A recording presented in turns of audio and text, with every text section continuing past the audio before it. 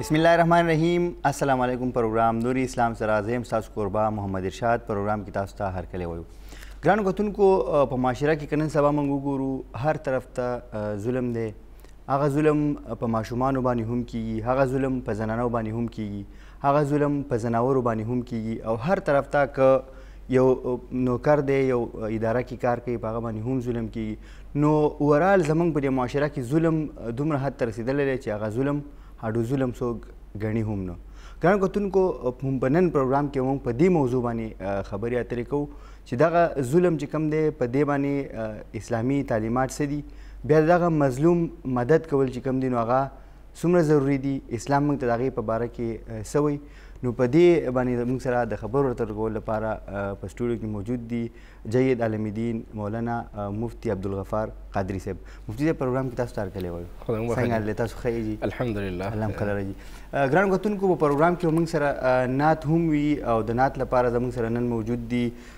مفتی کاشف رضا صاحب مفتی صاحب تاسو هم پروګرام کې هرکلی وایو ګران کتونکو تاسو هم کولای شئ چې په دې موضوع باندې که تاسو تپوس لرئ څه مشوره لرئ نو هغه هم موږ سره د ټلیفون د لارې شریکولی شئ تاسو موږ ته د واتس اپ په ذریعه باندې میسج هم کولای شئ او که تاسو څه پوښتنې وي نو مفتی صاحب به تاسو ته د هغې جواب درکړي مفتی صاحب ما په انټرو کې هم خبره وکړه چې هغه ظلم چې کوم دی نو هغه هر طرف ته که موږ وګورو په هر څیز باندې ظلم کیږي او ګڼلی کیږي هم نه چې ګنې موږ ظلم کوو جی بسم الله الرحمن الرحیم معاشره کې ظلم ګیر چاپیر خور دی نو ټول اول خو موږ له دا پکار دي چې موږ ظلم وپیژنو چې ظلم څه ته ویل شي چې کله یو انسان ظلم وپیژني نو هغه به بیا خپل ځان کې نظر واچي چې ما کې چې ته دا ظلم خو نشته زه خو چې ته به بل انسان باندې ظلم نه کوم نو اول ټول نه چې هغه ظلم پیژندل پکار دي چې ظلم څه ته ویل شي ظلم یو تعریف دا شوی دی چې یو شیز بې ځای کې ښودل یو شیز نا اهله له ورکول کوم یو څیز د کوم ځای حقدار نه دی، هغه څیز ته کېښودل یا هغه ځای ته وړل یا هغه کس له ورکول دا ظلم دی. یو سړی د عزت لایق دی او د هغه بې عزتي کول دا په هغه باندې ظلم دی. یو هس یو کس هغه د مینې محبت لایق دی هغه څخه نفرت کول دا په هغه باندې ظلم دی. نو ظلم یو ډېر جامع معنی ده، یو ډېر لوی معنی ده او زموږ په معاشره کې ګېر چاپېر مختلف افرادو باندې سهار او ماښام ظلم کیږي خو زموږ ورته خیال نه وي نو اسلام راغلی دې دپاره دی چې په انسانیت باندې کوم ظلمونه کېدل چې کمزورې به د زورور محکوم و زورور به په کمزورې باندې ظلم کولو زنانه باندې به نارینه ظلم کولو په یتیمانانو کونډو باندې به دغی د خاندان چې کوم کسان وارثان وایي به ظلم کولو نو دغه زورور خلک په خپل د نفس او شیطان هغه غلامانو انسان د انسان غلام و نو اسلام دې دپاره راغلی چې معاشره دغه ظلم ختم کړي اوس نن معاشره کې موږ ته ظلم ځکه ښکاري چې موږ د اسلام نه لرې کېږو چې سله اسلام راغلی نو هغه وخت کې خلک د اسلام نه لرې نو ځکه ظلم ډېر و چې کله بیا هغه اسلام ته رانږدې شو نو هغه ظلم ختم شو اوس په معاشره کې ظلم ځکه ورځ تر ورځ سوا کېږي چې موږ د اسلام نه لرې کېږو که موږ خپل ځان خبر کړو چې اسلام موږ ته دغه کار په باره کې څه قانون بیان کړی دی دې په باره کې اسلام څه وایي نو بیا چې کله موږ هغې نه ځان خبر کړو بیا په هغې باندې عمل وکړو نو موږ بیا خپل ځان د ظلم نه بچ کړو او چې کله ظلم نه ځان بچ کړو نو موږ کې به انصاف راشي انصاف راشي نو انصاف سره د الله جل شانو مدد وي نو نن ډېر خلک دغه ګیله کوي چې موږ دعاګانې کوو زموږ دعاګانې نه قبلېږي موږ سوالونه کوو خدای پاک سوالونه نه قبلوي نو د هغې بنیادي یوه وجه دا هم وي چې دغه خلکو هر انسان کې هغه ظلم پروت دی چا کې لږ او چا کې ډېر نو چې کله مونږ خپل ځان د ظلم نه خبر کو بیا هغه ظلم ځان نه وباسو نو یاد ساته مونږ به یو مفید انسان یو ښه انسان به جوړ شو صحیح نو نن به موږ کوشش کوو چې په معاشره کې کم خلکو باندې مختلف طبقات باندې مختلف افراد باندې کوم ظلمونه کیږي او خاص کر زموږ د پښتو معاشره کې زموږ د پښتنو کې چې کوم خبرې پرتې دي په هغې باندې به کوشش کوو چې د خپل کتونکو خپل اوردونکو ته د اسلامي تعلیمات دې نیت باندې بیان کړو چې زموږ کتونکي کې یو انسان هم هغه خپل اصلاح وکړله هغه خبره خپل ځان نه وباسله نو دا به زموږ د دغه پروګرام کامیابي دا به زموږ کامیابي مفتي صاحب بیا مختلف طبقات چې کوم بیا موږ وګورو نن سبا که هر طرف ته وي ماشومان چې کوم وي نو هغه ډېر زیات په هغې باندې د نورو زنانه یا زناور د هغې نه هر هر څه نه زیات که موږ وګورو ماشومانو باندې دغه د هغې سره چې کم زیاتی کېږي مفتي صاحب په مختلفو طریقو سره هغې سره ظلم وشي زیاتی ورسره وشي او بیا ووژلی هم شي د هغې نه علاوه هغې اغوا اغوا او دا خو لا بیا اوس دغه دي خو د هغې سره سخت ظلمونه او مفتي صاحب دا دغه چې کوم دی نو ورځ په ورځ په دې کې اضافه کېږي د دې لپاره ستاسو څه ګڼئ چې څه کول پکار دي چې زموږ په دې معاشره کې دغه د ماشومانو دغه په دې کې به د والدینو هم کردار وي مفتی صاحب د معاشرې به پکې هم خپل کردار وي نو په دې باندې تاسو لږ تفصیلي خبره وکړئ چې د دې ماشومان سره چې دا کم ظلم کیږي دا په کومه طریقه باندې موږ وکاوه جی ټول اول خبره خدا چې د ماشوم دا حق دی او د مور او پلار ذمہ واری ده چې هغه ماشوم لمینه محبت ورکړي خپل اولاد لبا مینه محبت او رغی لبا توجه ورکړي هغوی له به ټایم ورکوي، هغوی له به اهمیت ورکوي، د هغوی تعلیم او تربیت باندې به توجه ورکوي. ټول نه اول تعلیم ګاه او د زده کړې هغه ځای چې دی هغه د مور هغه غېږه ده. نو مور به خپل ماشومتوب نه خپل بچي له خپل لور له به ښایسته تربیت ورکوي او چې نن سبا معاشره کې دا کوم ظلم زیاتی روان دی ماشومان هغه اغوا شي او د هغوی بیا بې عزتي وکړي شي او بیا قتل کړي شي نو چې کله معاشره کې کوم یو ګناه او کوم یو ماحول جوړ وي نو د هغې ټول نه اول خبرتیا ماشوم له ورکول پکار دي ټول نه اول د مور پلا تعالی تعالی ذمہواری دا ده چې ماشوم دې باندې پوهه کی چې کله یو کس تاسو ته په غلط نیت باندې لاس لګي غلط نیت باندې تاسو आवाज کی سکی نو تاسو بیا خلک خبروي تاسو بیا چغه وخه تاسو بیا غیر چافر خلک خبروي نو چې کله کول نه غي ماشومان دغه تربیت ورکړي شي او یو سو دغه شانته چې کوم ظالمان دي او کوم چې دغه مجرمان دي دا ونیول شي او بیا ټول نه لوی خبره دا چې اسلامي تعلیمات مطابق هغوی له سزا ورکړی شي اسلام چې کوم سزا یې خدا اسلام دې لپاره څه سزا مقرر کړی اسلام دغه شان چې کوم خلکو باندې ظلم کوي دې ته بیا اسلام محاربه وي محاربه معنا دا چې معاشره سره جنگ دی دا معاشره افراد ته نقصان رسول دي د معاشره چې کوم افراد دي اوسیدونکو دي هغه معاشره تباہ کول دي دغه شانته کسانو دپاره اسلام چې دغه قتل سزا ایښې ده محاربه دې ته ویلی شي چې هغه په معاشره کې فساد راولي د معاشرې په باره کې خلکو په ذهنونو کې یره پیدا کوي نو دغه ماشومان چې کله کور نه روزي نو خامخا مور او پلار په زړه کې یره راځي چې دغه واقعه ونشي لکه قصور کې شوی و نور علاقو کې دا واقعیت شوي دي نو دغه دغه شانته جرم ته اسلام محاربه وي چې اسلام سره جنگ دی دا معاشره سره جنگ دی انسانیت جنگ دی نو دغه شان د خلکو لپاره اسلام ټول نه سخترین سزا یې ده نو چې کله اسلامي سزا نافذ شي او خلکو ته مجرمانو ته د مجرم غهال او خودلی شي نو یاد ساته دغه نفس او شیطان دغه انسان بیا نشي گمراه کولی دغه انسان بیا یریږي نفس او شیطان څومره هم دوکه کوي دی به د خپل مرد یری نه دغه ګناه نه بیا ځان ساتي زموږ په معاشره کې افسوس خبره دا ده چې دغه مجرم ته پته ده چې زه به یو غټ وکیل ونیسم دغه منډه تړه به ووخم زه به رشوت استعمال کوم زه به مختلف ذرایع استعمال کوم زه بچ کېدی شم نو ځکه هغه د هغه سره د سزا یره نشته دی که قانون صحیح جوړ کړی شي هغه باندې صحیح طریقې سره نفاذ وکړي شي د علماو مفتیانو جید چې کوم قانوني ماهرین دي د ای په پینل په ذریعہ باندې د دې لپاره بیل قانون بیل کورټس او بیل چې د هغه لپاره ججونه ججان کینول شي او د دې زر فیصله کیږي او نفاذ هم دغه د نور جرم جرم په ځای باندې د دې نفاذ هم ښکارا وکړي شي نور مجرمان خو په پټه باندې هغوی ته سزا ورکول کېږي د دوی هغه سزا هم له ښکاره ورکړي شي نو په معاشره کې دغه جرمونه بیا کمېدی شي کمېدی شي او مفتي صاحب بیا د ماشومانو باندې چې کوم ظلمونه کېږي د هغې هم بیا مختلف قسمونه دي یو خو تاسو خبره وکړه دا چې کوم چې یاره بس د هغې سره زیاتی وشي او هغه قتل کړی شي د هغې نه علاوه که موږ وګورو په دې کې داسې مور هم وي چې د هغې سوتېلي بچي وي په هغې باندې ظلمونه کوي دغه ماشومان چې کوم دي که چېرته په ورکشاپ کې کار کوي هغه چایلډ ابیوز ښکار کېږي ورکشاپ کې کار کوي نو استاد به دومره وهي او هغه څه ویلی نشي بلکې استاد دا خپل حق ګڼي چې دا به زه څومره ډیر وهلی شم دا به زه وهمه دې کې زمونږ په دې معاشره کې هغه شعور دومره نشته مفتي صاحب چې دغه هم دغه ماشوم چې کم دی نو دا د دې معاشرې حصه ده زمونږ د دې دا به هم د چا بچی وي ستاسو به که دا استاد وهل کوي نو دغه هم بچی دغه شان د دې استاد سره ماته بله خبره یاد شوه مفتي صاحب په سکولونو کې مخکې ماشومان ډیر زیات وهل کېدل د غي سره سره د سکولونو په مدارسو کې به هم وهل کېدي او بیا خاص کر په مدارسو کې چې کم ماشومان وهل کېږي نو بیا په سوشل میډیا باندې یو طوفاني بدتمیزي د مدرسو خلاف بیا شروع شي بیا دغه استادانو خلاف دغه شروع شي نو مفتی صاحب تاسو چې کوم زموږ استادان دي هغه ته څه پیغام ورکوي او بیا خاص کر په دې صوتي لیما او د چې کوم چایلډ ابیوز کار کیږي د ماشومان پر ورکشاپونو کې به کار کوي الته په غي ظلمونه کیږي ټول اول خبره خو والدین له دا پکار دي چې خپل اولاد دا د اولاد حق دی آقای کریم علیه الصلاة والسلام به فرمایي چې یو پلار ټول نه لوی شیز ټول نه ښه شیز چې خپل اولاد له ورکولی شي هغه د هغې ښه تعلیم او تربیت دی د پلار طرف نه ټول نه ښه ورکړه چې دا هغه ښایسته تعلیم او تربیت دی ځمکې ورته مه پرېږده جایداد ورته مه پرېږده خو ښایسته تعلیم او تربیت وله ورکړه د دې د برکته به په خپله ځان له دغه چیز برابر کړي ځمکې جايداد هر څه ورته پريږدي خو تعليم او تربيت وله ني ورکړي پوه کړي ني وي په ښه او بد باندې نو دغه ځمکې او جايداد به ځان له په جوارو کې او په غلط کارونو کې هلته کې به دا وبيلي نو ټول نه اول حق چې دی هغه ماشوم هغه ښايسته تعليم او تربيت دی که يو پلار يو مور بچو له دغه تعليم او تربيت ورکولی شي نو دی بيا یو ورکشاپ کې کینول یو ځای کې هغه هنر ته کینول په ماشومتوب کې دا ټیک نه دی ځکه چې دا ماشوم ماشومتوب شي دا د زده کړې وخت دی دی به دا وخت تعلیم حاصل کی تعلیم نه رسو بیا ځان د پاره کوم د مخکې بیا فیلډ ځان ته منتخب کی او هغه کې بیا د هنري ځکه کسب ځکه نو هغه چې کله د بالغ شي کله د پوه شي سمجدار شي نه رسو بیا دغه کسب ځکول پکار دی وړو کې عمر کې لکه موږ ګورو په معاشره کې مختلف هوټلو کې مختلف ورکشاپ کې واړه واړه ماشومان لګیا یې هغه کارونه کوي نو یاد ساتئ چې نن سبا که موږ وګورو نو ګورنمنټ سکولونو کې ګور ګورنمنټ چې دغه تعلیم هم مفت کړی دی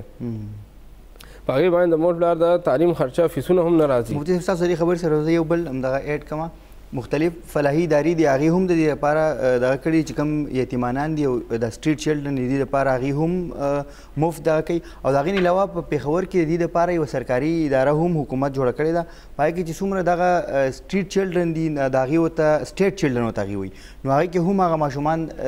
له فري ایجوکیشن د هغې کپړې لباس د هغې رهایش هر څه چې کوم دي نو هغه هم په هغه ځای کېږي خزانه روډ باندې دی سرکاري اداره ده نو مفتي صاحب په دې کې هم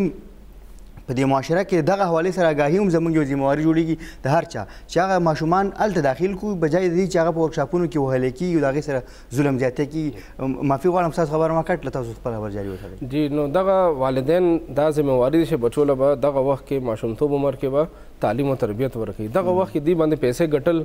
یاد ساتي چې پلار په خپل کور کې په آرام ناشتي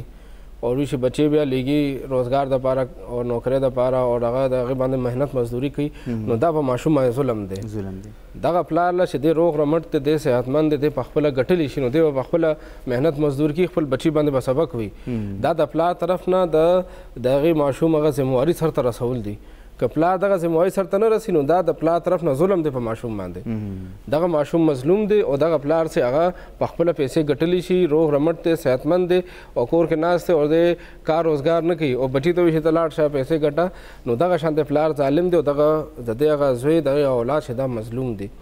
نو ټول نه اول خو پلار د پاره دا ذمہواري ده چې دنه خدای پاک اولاد نعمت ورکړي دی نو اول ذمہواري والدین دا تشدیل له خیسته تعلیم او تربیت ورکړي هغه نه روسو چې کله بیا دی بالغ شي نو دغه وخت یاد ساتي چې بیا د اولاد ته خوخي مطابق چې کوم د دی د خوښی فیلډ دی هلته کی دی بوتلل پکار دی بعضی سټوډنټان تعلیم کی کمزوری په زور باندی والدین ورته وی چی ته به خامخا ساینس وای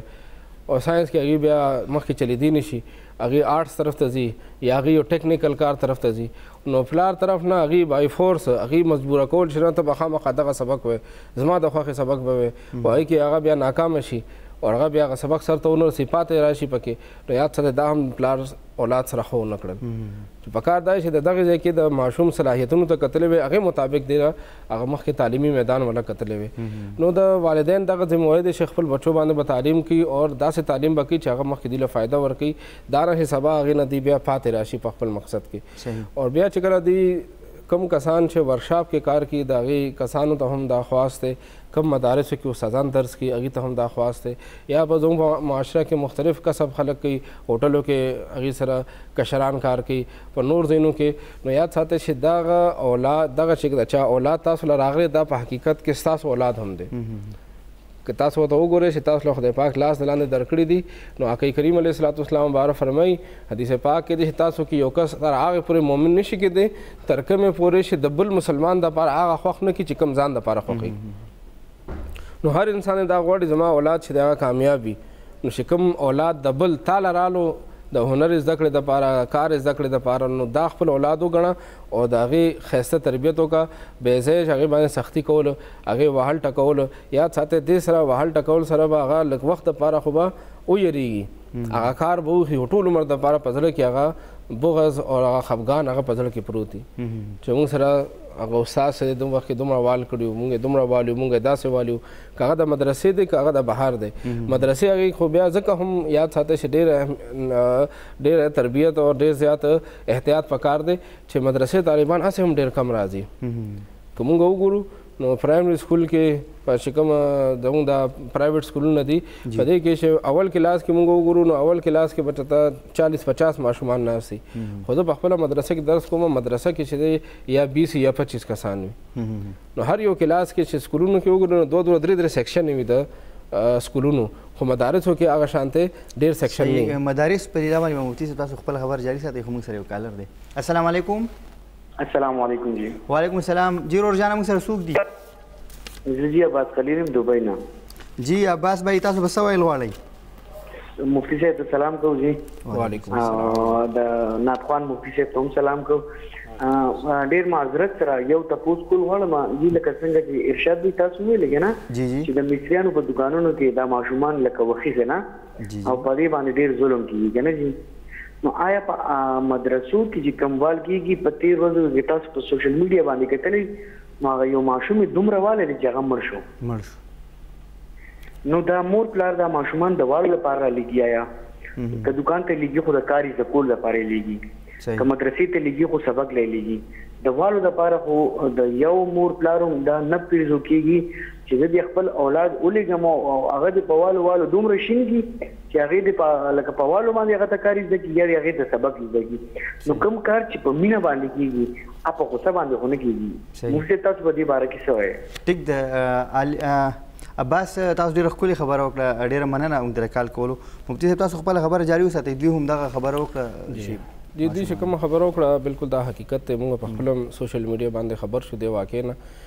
خو داسې واقعات ټایم په ټایم باندې راځي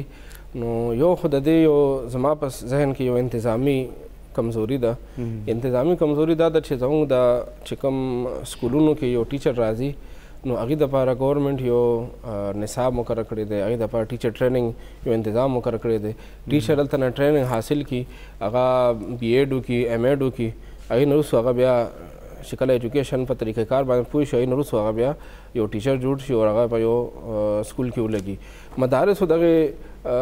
چې کوم نظام دی هغه کې چې ټیچر راځي نو ډیر کم ټیچران داسي چې هغه د ټیچینګ په طریقه کار باندې پويږي هغه چې کوم ماضي کې د سره د شکل په خپل سبق ویل د دې استاد په دې باندې په خپل ډیر زیات وال ټکول کړیو ډیر زیات سختی وسره کړو نو دوی په ذهن کې دکه خبره پرته وي چې ما په کوم طریقه باندې قرآن یاد کړی دی ما په کوم طریقه باندې علم کړی زه هم په خپل شاګردان باندې هغه شانته وکم نو د هغې هغه ذهني تربیت هغه طریقې باندې پخوا شوی دی نو هغې نن زمانه کې هم هغې هغې طریقې باندې مخکې تربیت کول غواړي چونکې نن د سوشل میډیا دور دی نن سبا د سوشل میډیا کې یو وړه خبره د یو کلي باندې وړو کې د ګوټ خبره شي ټول دنیا کې په منټونو کې خوره شي نو ما خواست د مدارس دغه مدرسین ته دغه استادانو ته او دغه چې کوم منتظمین دی هغه ته چې خپل ټیچرانو له لک شانته ذهن سازي وکي لک شانته تربیت ولا ورکي چې دا اوس دور شته د مخینی دور نه اوس بدل دی دا اوس یو ګلوبل ویلیج جوړ شوی دی ډیر زر شي دغه یو زین بل ته خبر رسی نو اوس اسه هم ما خبر شروع کړو چې موږ سره د مدارسو کې د سټوډنټانو تعداد ډیر زیات کم دی کم دی په سکولونو کې یو یو کلاس کې 100 100 سیکشن وي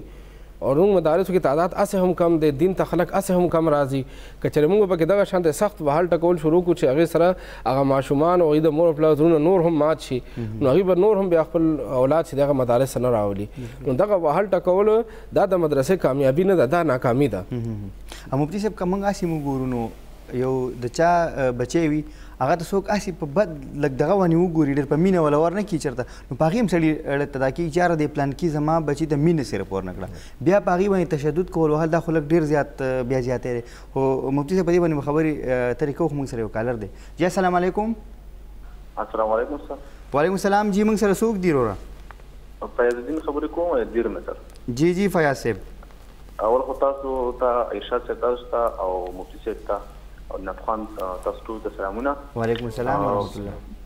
څنګه چې مفتی صاحب خبره وکړه او د مخکې کالر خبره وکړه علي آباد چې زمونږ کوم دیني مدارس دي په هغې کې ظلم کېږي په ماشومانو باندې نو دا ایشو چې کوم ده دا ډېره زیاته چې کوم دی مخکې مخ په وړاندې روانه ده مخکې به هم دا ایشوز راتله خو اوس که وګورئ نو د میډیا چې کوم دی دا هایلایټ کړه او که وګورئ نو بېل خلک چې کوم دی بیا ډېر غلط رنګ ورکوي حالان کې په سکولونو کې په نور انسټیټیوشن کې هم دا مسلې راځي په مخکو ورځو کې بره په واړۍ کې یو واقعه راغلې وه چې دغه شان یو ماشوم و په هغې باندې هغه قاري صاحب چې کوم دی غوړي ورایي یو ګرم غوړي نو هغه بیا پوره سوی و که نه نو دا هم راځي دغه شان ریپ کیسز چې کوم دی هغه هم راځي نو زما تاسو دا درخواست دی د مفتي صاحب په وساطت باندې چې لهذا په دې باندې لږ کوم علما دې هغوی ته لږ ترغیب ورکړي د مشرق په وساطت باندې چې دغه ایشو چې کوم دی دا هایلایټ شي او دغه مفتیان صاحبان چې کوم دي کوم علما دي هغوی په دې باندې لږ کار وکړي چې دا کوم ایشوز دي د ریپ په حواله باندې یا کوم تشدد دی په مدارجو کې ځکه چې په دې باندې زموږ ټول اسلام چې کوم دی هغه پوینټ آوټ کیږي او سوشل میډیا ده ارشاد څنګه تاسو ته پته ده نو هغه بیا خلک دیو له غلط رنګ ورکوي نو زما دغه یو خواست چې دا ایشو چې کوم ده ډیره سیریس ایشو ده لهذا په دې باندې تاسو چې کوم دی لږ کار وکړئ چې دغه هایلایټ شي او کوم علما دي هغوی په دې باندې کار وکړي. صحیح فیاض بهي تاسو ډېرې ښکلې خبرې وکړې ډېره مننه د کال کولو الرډي مفتي صاحب په دې باندې تفصیلي خبره هم کړه مفتي صاحب بیا دا وهل چې کوم دي د ماشومان سره دا ظلم زیاتی دا په سکولونو کې هم کېدو اوس هم کېږي داسې نه چې مفتي صاحب نه کېږي ریسنټلي موږ ته څو مثالونه موجود دي چې استاد ماشومان وایي خو په سکولونو کې په دې باندې باقاعده پابندي ده او د ایجوکیشن محکمې چې کوم افسران دي هغې په دې باندې باقاعده سزاګانې لپاره مقرر کړي دي نو بهرحال هغه وهل په ارده کې کېږي خو بیا د په مدارسو هغه دغه چې کوم نو هغه لګ بیا ډیر زیات اسان ټارګټ کېدی شي نو بس په دې ځای کې زمونږ د علما کرامو یو ډیر لوی کردار جوړیږي جی دلته کې یو خبره منه مینس کې پاتې مفتی صاحب تاسو به خبره خپل یار ساتي موږ سره یو بل کالر هم دی چې هغه مولوی بیا په شریکه خبرو کې السلام علیکم وعلیکم سلام جی رور جان موږ سره څوک دي زه ارشاد صاحب عبدالرشید خبر کوم تاسو ته او مفتی صاحب چې کوم دی او کوم نات خوان دی ټولو ته سلامونه کوم وعلیکم السلام ډیر مننه جی ارشاد صاحب صحت هم ښه دی شکر الحمدلله تاسو ښه جی خیر دی جی زه یو خبره جی دا وکم دی کوم مطلب دی چې کوم مدرسو کې یا د استادان لغه سره زیاتې کوي نو مفتی صاحب ډېره ښه خبره وکړه چې یاره دوی ته داسې لکه ټریننګ پکار دی دغه پکار دی خو زما ذهن کې یو کوم خبره ده نو هغه ډېر هغه هم ضروري ده جی جی جی هغه خبره دا ضروري ده چې بعضې استادان یا دغه چې یا په کور کې څه داسې څه واقعه یا څه غوسه جګړه وشي نو هغه کوم فاسټېشن چې کوم دی هغه په ذهن کې هغه چې څنګه زر راشي نو که لږ څه سړي غلط شوی ماشوم نه یا څه سلغی نه نو په هغه باندې خپل هغه غصه وباسي یو دا پکې ډېر غټ شی دی دویم پکې دویم پکې دا دی چې یاره کم استادان او کم دغه چې په دې سکولونو کې هغه کې بد کېږي نو د دې باقاعده یو میډیکل پکار دی دا کتل پکار دي چې ياره دوی په دماغو کې خو څه فرق خو نشته دی بعضې يي چې دماغي تورم څه داسې هغې کې فرق يي يا بي پي د هغې دومره های شي دغه ما ليول باندې يي چې هغه معمولي خبره هم نشي دغه کولای د دغه مخې سره پرې راباندې کړي نو زما خو دا تجويز دی چې ياره د دوی دي باقاعده مياشت پس يا دوه مياشتې پس ميډيکل کيي باقاعده دي ګوري چې دې کې څه دماغي دغه خو نشته دی چې ياره ته عام سړو ته خو پته نه لګي چې د د دماغي دغه دی یا د د بي پي زیاته ده د څه بیماری ده نو دغه شي چې فرا کم فاسټیشن او کم دغه چی هغه د دی او یا د کور کم جم جګړه چی هغه په دې دغه کې په دې باندې غوسه وباسي د دې ټول دا زما په خیال چې دا شی ډیر ضروري دی دغه دغه سره مفتی صاحب خبره په خپل ځای دی چې ټریننګ پکار دی او باقاعده دی له سزا پکار ده چې یاره که تا دا دغه وکړ ولې چې کوم شی په مینه باندې او په طریقه باندې هر یو شی کېږي، خو دا چې په زور باندې نه ټرانسفر کېږي او نه په والو باندې، چونکې د دې نه بالکل معاشره کې به نور هم بګاړ راځي. صحیح. Thank you. ټیک شو ډیره مننه عبدالرشید لالا تاسو د ټلیفون کولو. جی مفتی صاحب. جی لالا خبرې ډېرې ښې وکړې او حقیقت هم دغه شانته دی چې مدارسو کې دا بعضې کسان داسې وي چې هغوی ته د کور طرف نه څه ټېنشن ملو شي یا تنخوا طرف نه هغوی څه ټېنشن وي یا د مدرسې د منتظمین د طرف نه څه ټینشن ملو شي نو د هغې بیا ټینشن د ختمولو د هغې زور د وباسلو څه ځای ورته نه ښکاري نو هغې بیا بعضې واقعیت نه موږ هم خبر شوي چې دا شانته ماشومانو باندې د هغې هغه ظلم زیاتې کیږي نو هغې یو بل وجه هم ده چې هغې باندې هم موږ والدین له پکار دي چې لږ شانته توجه وکړو هغه والدین ذمه واري ده بعض اوقات چې داسې واقع وشي نو په هغې کې د بعضې والدین هم ملوث وي زه به د هغې یو تاسو سره یو تفصیل بیان کړم چې بعضې والدین داسې چې د هغوی بچی چې سکول کې نه چلیږي نو هغه مدرسې ته راولي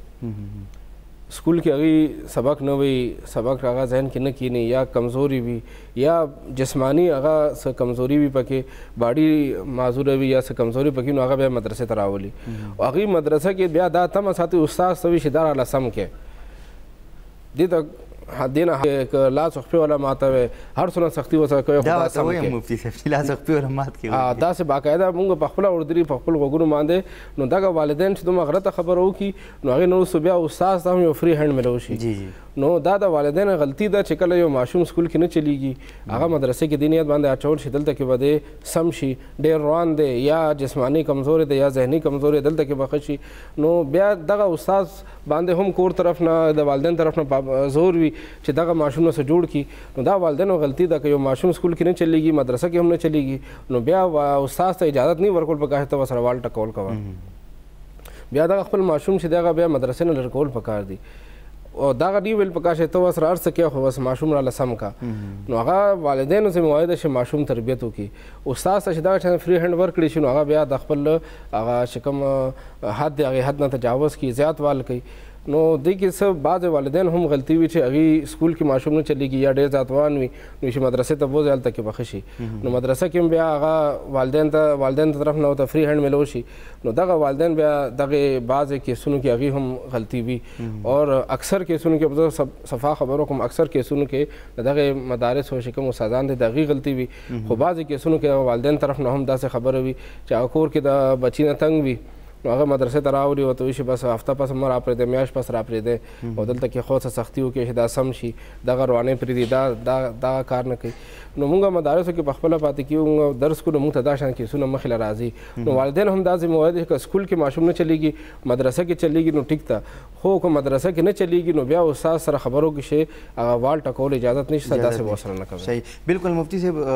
زموږ څومره علما کرام دي هغه زموږ لپاره ډیر قابل احترام دي دا شان زموږ څومره استادان دي په سکولونو کې دي که پرایویټ کې دي که په سرکاري کې دي هغه هم زموږ لپاره قابل احترام دي خو که هغه څومره څوک هم راځي ماشومان چې راځي دا غي خپل بچي هم یو دا یو روحاني استاد چې کوم یو روحاني پلار هم وي نو په کار چې دا وسره لږ د مینې او د دغه وکي بجای د دې چې هغه سره سختی کوي هغه نور هم سخت شي ماشومان او دا غینه بیا هغه ماشومان هغه اکثر هغه سکولونه په دی وجه پری هم دي نو بهر په کار هغه لدار چې هغه د مینې هغه برتاو چې کم نه هغه دې سره وکي مفتی صاحب نور دغه هم دی د میټم نه سره ګرانو کتونکو پروګرام کې وړه شندمه اخلو واپس راځو موږ سره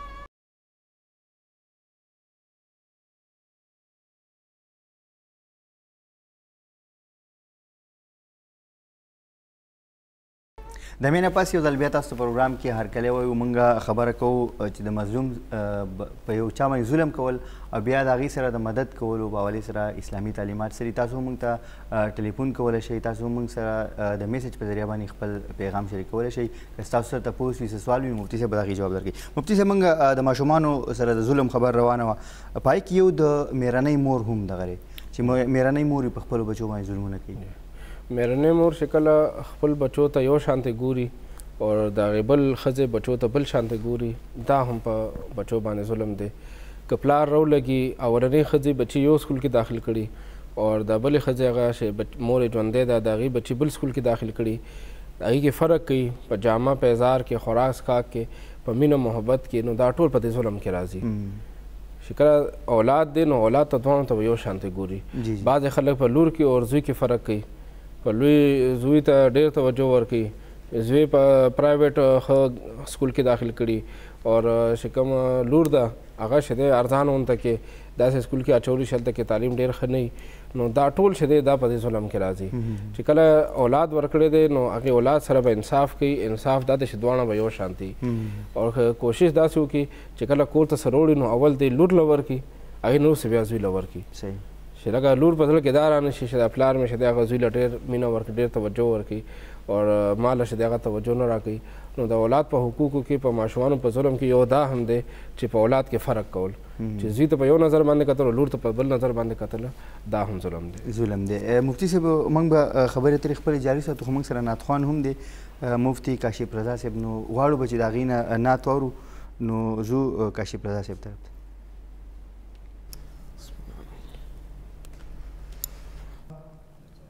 جزاک الله سبحان الله کاشف رضا صاحب چې پیغمبر اسلام صلی الله علیه وسلم ته د عقیدت پیرزین وړاندې کولې ګران کتونکو پروګرام زموږ روان دی زموږ موضوع چې کوم دنو هغه د مظلوم سره د مدد په حواله سره دی چې د هغې شرعي تعلیمات څه دي تاسو هم موږ سره پروګرام کې شاملېدای شئ د ټلیفون د لارې او د میسج له لارې مفتي صاحب موږ د ماشومانو سره د ظلم خبره کوله پای کې داسې هم ډېر مثالونه مو مخې ته راغلي دي چې په کورونو کې هغې ماشومان ځان سره د کار د پاره ساتلي وي او په دې کې غټ غټ خلک انوالو وي پای کې ایون زموږ انکر چې کوم دي یو ټي وي چینل غټ غټ انکران هم پای کې انوالو وي او هغه دغه ماشومان سره ډېر زیات ظلم کوي او د هغې بیا په سوشل میډیا باندې یو ډیر زیات یو د غم راشي څه وخت خبره وي بیا هیڅ خبره ختم شي د چایلډ لیبر هم دغه خبره ده چې خپل ماشومان روزګار دپاره نوکرۍ دپاره او مهنت دپاره هغه ورکول چې دا د والدین د طرف نه دا ظلم دی چې والدین په خپل جندوی دي په خپل پیسې ګټلی شي ګټلی شي نو په خپل د مهنت مزدوري وکړي او خپل بچو باندې سبق وي تعلیم باندې وکړي هغې نو شکل هغې د ګټلو قابل شي هغې نو هغې بیا په خپله به هغه خپل رزق دپاره کوشش کوي خو چې کله دوی ماشومان دي دوی واړه دي نو یاد ساتئ دا وخت د دوی د زده کړې دی او کم از کم نن سبا موږ معاشره کې وګورو نو کم از کم ماشوم چې هغه څوارلسم شپاړسم نه یې کړي نو هغه ته په معاشره کې یو ښه نوکري داسې د عزت والا نوکري ورته نه ملاویږي نو دا د ماشومانو حق دی چې دې باندې تعلیم وکړی شي او نن سبا که چېرې مونږ وګورو نو که والدین په خپله تعلیم نشي کولی نو داسې تاسو وشي کوم ادارې وښودلې چې هلته نه تعلیم ورکول کیږي زمونږ په معاشره کې داسې ډېر سکولونه کالجونه شته چې هغوی سکالرشپ ورکوي یو مستحق سټوډنټ لا چې هغه سبق ویل غواړي او هغه سره مالی حیثیت دغه کمزوري وي نو هغه سکالرشپس ورکوي نو دغه شانته ادارو سره تعلق ساتل پکار دی هغه سره زموږ په معاشره کې الحمدلله ډېر خدای نه یریدونکي او د غریبانو خلک شته مو پیسې په دې باندې خپل خبر تاسو جاری ساتي هم سره یو کارر دی جی السلام علیکم وعلیکم السلام موږ سره څوک دی جی او د کم زینا سمینا خبرې کوم چارته دی نه او تاسو سلام مفتی صاحب سلام وعلیکم السلام ورحمت الله او نن چې زما تاسو یو مفتی صاحب نه دا دی چې یو ماشومه ده او د هغه کویدن شوی ده او په کویدن کې نکاح تړلې شوی ده نو هغه مطلب تقریبا څه دوه کاله مخکې کویدن شوی ده او نکاح تړل شوې ده خو په دې رشته کې څه دونه ډېر بداوي او دونه خپګان پکې راغی او دونه خبرې پکې راغلې چې ماشومه وایي چې زه د سره دا رشته نه کوم نو ما چې زه او لکه ماشومې د طرف نه دا خبره ویل کېږي چې او چې زه ترنه خوله اخلم خو زه دا رشته نه کوم دې سړي سره یا دې کور والا سره ځکه چې هغوی ډېرې عجیبه خبرې کوي نو ما مفتي صاحب نه دا تپوس کو چې آيا دا خبره مطلب کيږي دا جايز دی چې جينۍ کويدن کړې په کور ناسته يي نکاح کړې هغه خوله اغشتې شي يا دوي د قران سنت په رڼا کې ما له څه رهنمايي کولی شي چې د دې جواب راکړي. او دې ماشومې نه تپوس کړی شوی وو کله چې د دي رشته کيدنه ماشومې نه تپوس شوی وو هغي اوله کې مطلب ها کړی وو. بلکل دوی نه تپوس شوی او دوی ښه کړی وو دا هرڅه شوی وو خو چونکی د هلک د کوره پکې بیا دونه عجیبه خبرې رالې او داسې الزامات رالل او داسې هرڅه رالل هغه ماشومه په دغې باندې ړبه دې شوه چې زه خپل مور پلار کره ناسته یم دوی په ما الزامات لګوي بیا چې کله زه دوی کره یم نو بیا به ما سره څه کوي. پوه شو موږ جی مفتی صاحب د رشتو حواله سره. جی زموږ په معاشره کې خواتینو باندې کوم ظلمونه کیږي او نن دې کې یو ټاپک دا هم وو په دې کې دننه چې موږ په دې باندې هم خبرې کوو نو دا هم د هغې سره ریلیټډ خبره ده چې بعض اوقات کویدن وشي یا بعض اوقات نکاح وشي رخصتي نه شي وي نو هلک کې ورته څه داسې خبرې ښکاره شي چې جینۍ ورسره ګزاره نه کوي یا جینۍ کې داسې خبرې ښکاره شي چې هلک هغه کوالټي سره هغه خبرو سره هغه بیا ګزاره نه کوي نو یاد ساتئ چې دا واده چې دی دا د دواړو جانبین د خوښې او د رضامندۍ خبره ده جی جی. چې کله دوی په کور کې یو بل سره ګزاره کول غواړي، یو بل سره ژوند تېرول غواړي، نو بیا هغه واده د هغه نکاح چې دی هغه برقرار پاتې کېدل پکار دي. که یو هم پکې د واده د معاهدې نه وروسته کېږي، نو اسلام دواړو له اجازت ورکړی دی، خاوند له اجازت ورکړی دی طلاق د هغه لفظ استعمالولو، خو موږ په تېر پروګرام کې هم دا خبره کړې چې درې ځل به نه استعمالي، یو ځل او جینۍ له دا اختیار ورکړی چې دې خلع اخیستي شي. اسلام جنې له هم دا اختیار ورکړی دی که چېرې نکاح نه وروسته یا واده نه وروسته واده مو شوه رخصتي مو شو او بیا خاوند ته پکې داسې خبرې ښکاره شوې چې دغه جنې دغه خاوند سره ژوند تېرول نه غواړي نو بیا ما مخکې دا خبره کړې وه چې نکاح کېدلو په وخت کې هم جرګې شوې وې ډېر تګ راتګ شوي نو بیا چې کله ختمېږي نو بیا هم په دې کې جرګې پکار دي په دې کې پړ او وړ پکار دی په دې کې څوک په ناحقه دي څوک په غلطه دي څوک په حق دي د دې خبرې جرګې ته په کار دي هغه نه رسو بیا چې کله خبره واضح شي څوک په ناحق دي څوک په غلط دي هغه نه رسو بیا د نکاح ختمول د پاره د جرګې په ذریعہ باندې هم جنې خلا غستې شي خو خلا کې دا خبره ده چې جنې په خپل هغه حق مهر پری دي صحیح ځکه چې کله نکاح تړل کیږي نو نکاح تړلو کې ایجاب او قبول دا شرط دی دا فرض دی او مہر پکې واجب دی دا پکې خامخای نو شکل دغه حق مہر پکې تړل شي وي نکاح په وخت کې نو هغه حق مهر بشي دا به جنې خپل پریدي دا حق مهر چې کله دی پریدي نو هغه په وس کې دی بیا طلاق او خلا غوستي شي ټیک شو مفتی صاحب هم په دې باندې با خپل خبره جاری ساتو موږ سره د می ټیم د ګران کتونکو پروګرام کې وړه شانتي دماخلو واپس راځو موږ سره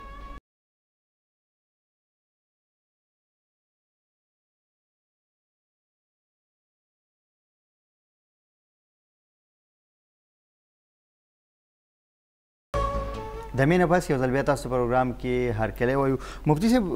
تاسو خبره کوله چې مطلب نکاح هغه پرس که ماتول غواړي نو هغه نکاح چې کیږي نو پای کې ډیر زیات تګودو شوی وي نو داسې ډیر په اسانۍ باندې ماتول هم نه وي په کار پای کې جرګې کول پکار وي څنګه چې مخکې جرګې شوي دغه شانې مشران پای کې نسل پکاري د هغې داسې لار راوستل پکاري چې هغه دغه بچي ځکه چې په حلال کارونو کې د ټولو نه دغه کار چې کم دی نو طلاق دی بالکل طلاق دی بالکل نو په دې کې بیا مفتی صاحب زموږ په کلو علاقو کې خاص کر موږ وګورو نو چې کم وخت کې منګنی کېږي یا خبره کېږي نو په هغه وخت کې ورسره نکاح هم دوی وتړي او هغه بیا دوه دوه کاله او درې درې کاله هغه یا کس چې کوم یا په سعودي عرب کې وي یا په بل ځای کې وي یا هم دلته وي خو هغه واده ته جوړ نه وي او هماغه شان هغه نکاح ښځه چې کوم وي نو په کورونو کې ناستې ایا دا طریقه تاسو په خیال سره ټیک ده شرعي لحاظ سره اصل کې دا کویدن شې دا دې ته شریعت کې وعده د نکاح ویلی شي جی جی دا نکاح نه ده دا وعده د نکاح ده او چې کله نکاح وتړل شي نو دې سره اسلام چې کوم حقوق د خزا خاوند او کوم ذمہواري مقرر کړی دی هغه دوانو ته متوجه شي نو شکل نکاح تړل شي نو دی اوس خزا خاوند دی نو بیا کوشش دا پکار دی چې بلا عذر اسې دا نکاح لیټ دا رخصتی او دا واده لیټ کول نه دی پکار چې انسان وي شاید دا الګ سبق وي او چې کله سبق نه فارغ شي نو بیا به ولا بیا به جواب ګوري بیا به جواب ګوري بیا به نور سو بیا نوکری کوم هغه نور سو بیا ولا واده کوم چې کله نوکری شروع کی خپل خپل باندې درګ نو بیا به د واده کوم نو دغه وجوهات د وجنه بیا دغه نکاح بیا نی کول پکار اول نه خبره نی کول پکار چی کله خبره وشوه کویدن وشوه یا نکاح وشوه نو بیا هغه نه وروسته واده بیا زر کول پکار دی که داسې عذر داسې مجبوری وی چی کور کې داسې کمره نشته داسې نور ځای نشته چې هغه کې واده وکړي یا نور داسې فاینانشلی پرابلم وی نو بیا کوشش پکار چې ساده نکاح انسان وکړي ډیر غټ خرچې دنه کی ډیر غټ حساب کتاب دنه کی ساده طریقې سره واده وکړي او که دا هم نه کیږي نو بیا کویدن یا واده دغه وخت نه کول پکار کویدن یا واده نور څه بیا واده او رخصتي دا زر پکار ده لیټ کول نه دی پکار دې کې بیا داسې خلک وي چې هغه شیطانان وي هغه به د جنې رشتہ غوښتي وي هغه ته بنی ملو شوی یا به دغه د الک نه تم وي چې دلته کې به رشتہ کوي هغه بنی شوی نو هغه بیا دوه کورونو په منځ کې شیطانې کوي دغه شیطان دغه وسوسه او د ځل کې غلطه خبره اچول یا د انسانانو طرف نه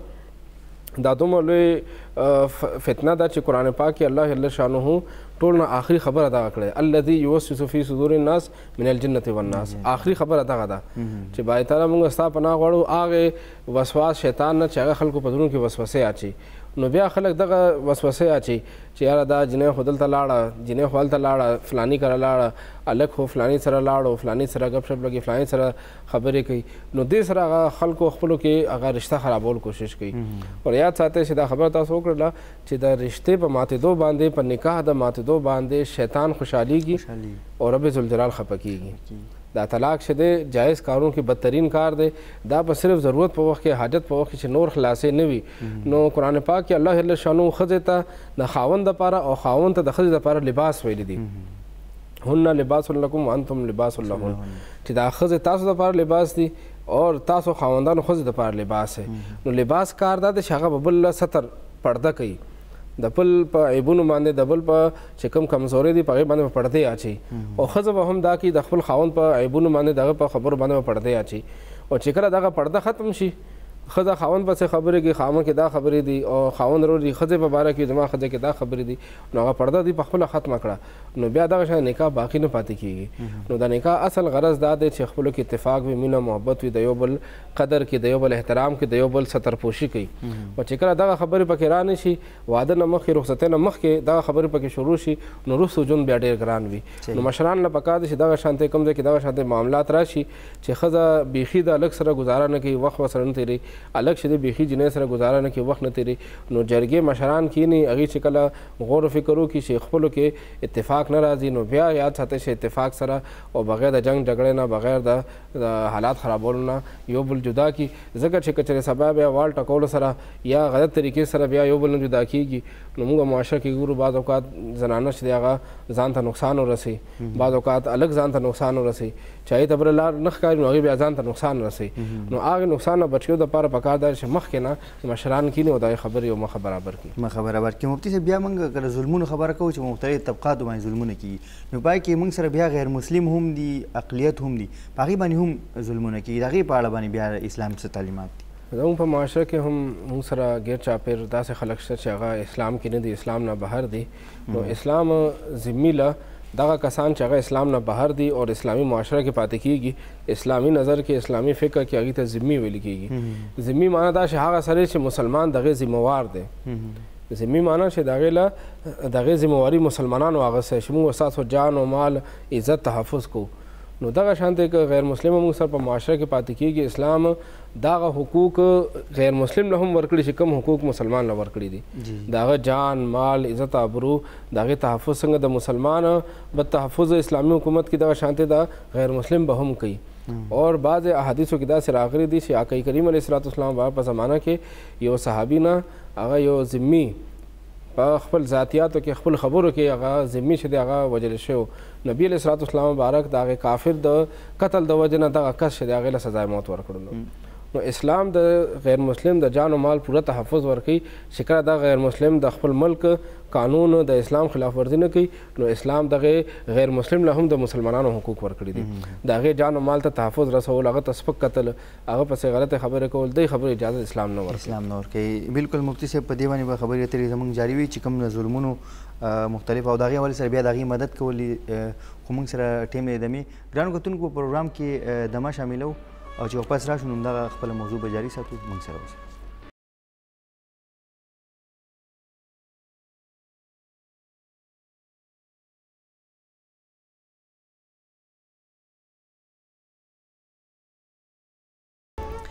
د مینه پس یو ځل بیا تاسو پروګرام کې هر کله وای مفتی صاحب یو فیډبیک کې دوه سوالونه چاره لګلې دي عبید خان د پیښور نه وای چې تاسو پروګرام ډیر ښه روان دی او دوی ته پوس کوي چې د ماشومان لپاره کوم سزا تجویز کړې شوې ده چې هغه به نامرد کول شي شریعت کې وای د دې دا جایز دی او بل دا تپوس کوي چي کوم د زياتي لپاره په اسلام کي څلور ګواهان دي نو دا شرط چي کوم دی دا لږ سخت نه دی په نن سبا حالاتو کي دا وي مشکل دی ابل ورځ چي کومه واقعه هم مخي ته شوې ده نو په دغه وخت کي د شپې څلور بجې درې بجې به هغه څلور ګواهان د کوم ځای نه راوړي نو دې شرعي حل څه دی جی دا کوم شو اوس سوشل میډیا باندې دا نامرد کولو دا خبر روان ده یاد ساتي د دې اسلام کې اجازه نشته اسلام د دې اجازت نه ورکړي، د دې لپاره چې کوم اسلامي قوانین دي هغې باندې عمل وشي، هغې مطابق سزا ورکړي شي، هغه سزا قتل ده، نو چې کله قتل وشي نو دې سره به دغه سړی ټول عمر لپاره خلکو ته پته ولګي چې فلانی په دې جرم کې قتل شوی وو، که نامرد کړي شي نو هغه سړی په اوس معاش اوس هم په معاشره کې موجود دی، که هغه دې طریقې باندې دې ګناه نه او دې د جرم نه بچ شو خو دې به بل طریقې باندې بل جرم کوي، نو دغه جرم هغه سلسله به بیا نه ختمیږي. دی به دا سړی اوس هم شته دی به بیا نور نور خلکو ته هم څه نه څه بل طریقې باندې نقصان رسوي نو اسلامي شریعت او چې کوم اسلامي قانون دی هغې مطابق سزا ورکړل شي هغه ډېر ښه ده او دا دویم تپوس چې کوم وشو چې موټروی باندې واقع وشوه او دا خو نیمې شپې واقع ده دې لپاره به څلور ګواهان چېرته نه راځي نو د هغې یاد ساتئ چې دغه څلور ګواهانو دا شرط چې دی هغه زنا بالرضا دپاره دی دا زنا بالجبر دی دا بای فورس چې دی هغې زنانه باندې ظلم شوی دی هغې له هغې سره ظلم شوی دی دې دپاره څلور ګواهانو ضرورت نشته هغه زنا بې رضا هغه بل جرم دی چې دوه کسان خدای دې نه کړي په رضا باندې غلط کار وکړي نو د هغې هغې اقرار هم نه کوي او بیا هغې سره ګواهان شته نو بس هغې ګواهانو باندې به خاص کیفیت باندې هغې ګواهي کوي بیا به سزا ورکول کیږي نو هغه بېل قسم دی دا بېل قسم دی دا زنا بالجبر دی دې دپاره دې ته محاربه ویل شي دې دپاره سزا چې ده هغه قتل دی او چې کله هغوی باندې ثابت شي ثبوت شي هغوی اقرار وکړي هغوی باندې ثابت شي ګواهانو ثبوت باندې نو هغوی نه وروسته هغوی له سزا ورکول شي سزا ورکول شي مفتي صاحب شکور خان دوبۍ نه میسج کړی دی هغه وایي چې د مظلوم بددعا لګي کنه او کچره هغه غیر مسلم هم وي بالکل د مظلوم بددعا لګي او انسان غیر مسلم هډې لري خبره ده هو انسان دی که زناور باندې هم څوک ظلم وکړي د هغه مظلوم زناور هغه بد دعا هم لګي د هغه خیره هم لګي انسان خو لري خبره ده ایمان او اسلام او کفر دا خو د انسان چې دغه دنیا کې د خپل عقاید خبره ده که یو انسان رو لګي په زناور باندې هم ظلم کی دغه بد دعا هم لګي او غیر مسلمه دا هم انسان دی الله جل شانو پیدا کړی دی او دغه چې اگر چې هغه بیا خدای نه ماسوه بل چاته سجده لګي هغه خدای پاک نه مني بل چاته رب وي خو بیا هم د هغې هغه دعاګانې الله جل شانه قبلي او که هغې باندې ظلم وشي بددعاګانې هم د هغې قبلي قرآن پاک کې د الله جل شانه ذکر کړی چې شیطان شیطان چې هغه د مخلوقاتو کې د رب ذوالجلال ټول نه لوی د نه لوی چې هغه نافرمانه نشته خو هغه چې کله آدم علیه السلام باندې سجده ونه کړه هغه وخت هغه سوال کو قرآن پاک راځي چې باری تعالی مالا مهلت راکې نو الله جل شانو دغه دغه سوال قبول کړی دی نو هغه شیطان اونته کې چې کوم نافرمانه دی دغه سوال خدای پاک قبلې نو بیا دغه غیر مسلمه یا نور خلک شې هغه هغه سوال هم قبلې صحیح مفتی تاسو خبر وکړه چې کوم زناور دي هغه باندې هم اسلام چې کوم دی نو هغه د ظلم اجازه نه ورکوي په دې باندې به هم خبرې اترې کوو زموږ سره یو دغه دا هم دی چې زناور ظلم خو موږ وایو چې یو بل نعت هم واورو او د نعت لپاره زموږ سره په سټوډیو کې موجود دي مفتي کاشف رضا صاحب نو هغوی ته به درخواست کوو چې د پیغمبر اسلام صلی الله علیه وسلم په شان کې چې کوم دی نو هغوی خپل د عقیدت پیرزینې وړاندې کړي سبحان الله جزاک الله مفتی صاحب تاسو ډیر په خپل انداز سره پیغمبر اسلام صلی الله علیه وسلم ته د عقیدت پیرزین وړاندې کې تاسو ډیره مننه کوو چې تاسو موږ خپل ټیم راکو ګران کتونکو پروګرام سلسله مخ کې بوزو مفتی صاحب چې کوم تاسو د مین مخ کې خبره کوله د بزناورو باندې د ظلم حواله سره چې اسلام دا غي هم اجازه نه ورکوي موږ نن سبا کوم وګورو نو خلک وی او هغه په سارو باندې هغه خر یا کوم دغه چې ډیر کمزور وي په هغه باندې ډیر زیات لوډ بار کړی وي دې په حواله سره شریعت څه وایي جی بالکل اسلام د زناورو هم خیال ساتلو حکم ورکوي آقای کریم علیه الصلاۃ والسلام زمانہ کې یو اوښ و هغه نبي علیه السلام با ته رانږدې شوی و او نبي علیه السلام با سره رانږدې شوی خپل هغه تکلیف دین وار ته بیان کړ آقای کریم علیه السلام با دغه اوښ مالک راوغوښت او ته فرمایي دا اوښ ګیله کوي چې ته دې له خوراک کم ورکې کات نه زیات اخلي نو داسې مو کوه نبی صلی الله علیه وسلم مبارک صحابي منې کو نو اسلام موږ ته دا تعلیم راکړي چې د زناور له هم خوراک پوره ورکو او څومره بوج څومره کار هغه کول شي عمر بوج په واچو عمر کار ته نه واخلو موږ بعد اوقات روډونو باندې ګورو چې هغه خر ډیر کمزوري یا اس ډیر کمزوري پاره باندې بوج اچولي هغه راپریوزي بعد اوقات اوړي ډیر ګرمي هغه تګي شي یا لوګي دلاسه یا تکلیف دلاسه یا کمزوري وجه نه هغه راپریوزي نو دا ډیر بوج اچول په زناور باندې ظلم دی او دې سره سره بعد خلک په کلی معاشره کې سپیس ساتلی په کور کې یا نور زناور ساتلی دغه له خوراک پوره نه ور کوي دغه د کم ځای کې کوټنۍ ولا جوړ کړي هغه داسې پوره برابر نه وي یخنی وي پکې یا ګرمي وي پکې دغه خبره خیال هم ساتل پکار دي حدیث پاک راځي آقا کریم علیه الصلاه والسلام ور فرمایي چې بنی اسرائیلو کې یو ښځه وه هغې کور کې پیشو ساتلې وه او هغې زنانه پیشو له په خپله هم خوراک نه ورکولو او آزادوله هم نه چې بهر ته تللې وې هغې بهر نه څه خوړلې وې نو هغه پیشو کور کې لوږې د لاسه مړه شوه جی جی جی. الله جل شانه هغه زنانه د پیشو د وجنه جهنم ته داخله کړه هغه خزه د پیشو د وجنه جهنمی شو نو کله چې یو زناور باندې انسان ظلم کی دي دا نه دا زناور دی مونږ ګورو بعض اوقات ماشومان پیشو وویني یا سپی وویني کاڼی راواخلي ورپسې شي وخي یې یا ځناور خر وویني چوکه راواخلي یو څو چوکې ووهي نو دغه ماشومان دغه کسان دا منې کول پکار دي خبرې نه چې دا ځناور باندې ظلم دی هغې چې کم کاڼې ولګي هغې په چې کم تکلیف ورسي په هغې باندې هغې د زړه نه هم هغه ازار وځي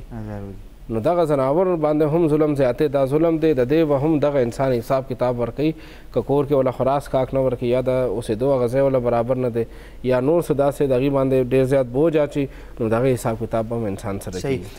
مفتي صاحب طیب د مردان نه د دې حوالې سره یو تپوس کړی دی. هغه وایي چې بعضې ځناور داسې وي چې هغه تنګول کوي، لږ کور کې خلک زیات ساتي هم پیشو وي چرته سپی وي او هغه اکثر ورانی کوي یا چرته لوخي ګنده کی یا څه او هغه سړی د غوسې نه هغه سړی ووهي یا څه نو دې حوالې سره څه حکم دی بالکل اسلام د شریعت اسلام دا د انساني ضرورت او د دغه د حاجت خیال ساتي که چې بعض اوقات دا منګکان وي یا کور کې دغه پښوګان وي چې هغه ډیر زیات روانه راغسي وي نو انسان صرف يرول شي ګزار د باندې دغه زناور باندې نه کوي دغه پښو باندې نه کوي خو صرف يرول د پاره شي کور ته بیا را نه شي اخو د خو گزارو کې شغې سره غو یریږي او بیا دغه روان د پاره نه راځي او بل دا چې خپل احتیاط کول پکار دي چې انسان خپل لوخي خپل پې خپل خوراک کا ترکاری دغه شونه محفوظ کی دي او دغه زناور نه بچ کی صحیح مفتی بیا موږ په خپل معاشره کې وګورو د ظلم هغه خبره کوم کو نو په زنانو باندې هم ظلمونه کیږي د هغې په مختلف طریقو باندې هغې ټاچر کیږي هغې ته په وراثت کې هم حصه نه ورکړی کیږي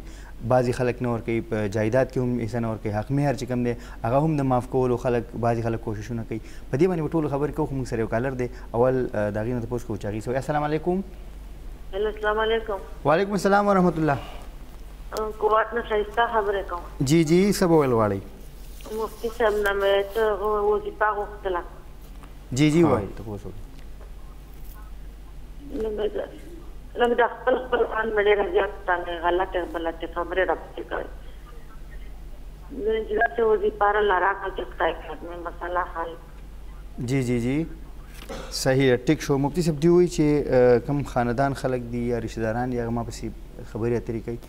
څه وظیفه را الله کې چې د هغې زه محفوظ یم جی د خور ته خواسته چې کله دې ماښام منځو کې ماښام مانځه نه وروسته قرآن پاک آیت دی سمم بکمن عمیون فهم لا یرجعون دا آیت کریمه د 120 پرې وي